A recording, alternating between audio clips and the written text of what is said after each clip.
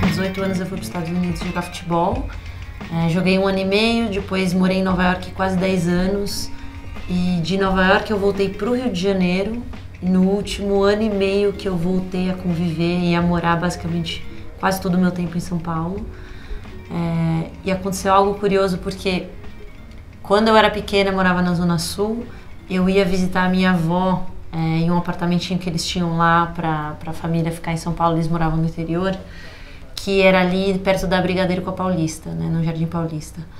E, então, para mim, era uma viagem quando eu era mais nova, né? Ir ali e andar pela Paulista, ir ali no Trianon, né? No Man.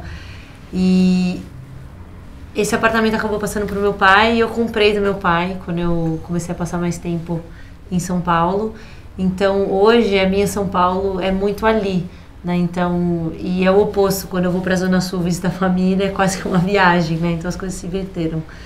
É, e eu tenho para mim está sendo uma descoberta morar em São Paulo de novo, né? É totalmente diferente da São Paulo que eu que eu vivi até os 18 anos.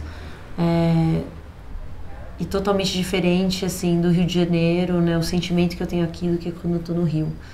É, então hoje eu eu gosto muito de circular ali, me lembra muito Nova York, assim, circular ali pelos jardins, pela Paulista. Eu acho que pela diversidade de pessoas, pela opção à cultura, né? Eu gosto muito de ir na livraria Cultura e me perder lá dentro, é, e tomar um café ou ali no, no reserva também assistir algum filme e esse lance de fazer tudo a pé para mim né? É, me traz memórias afetivas até de Nova York assim é um estilo similar que eu gosto muito que São Paulo que São Paulo dá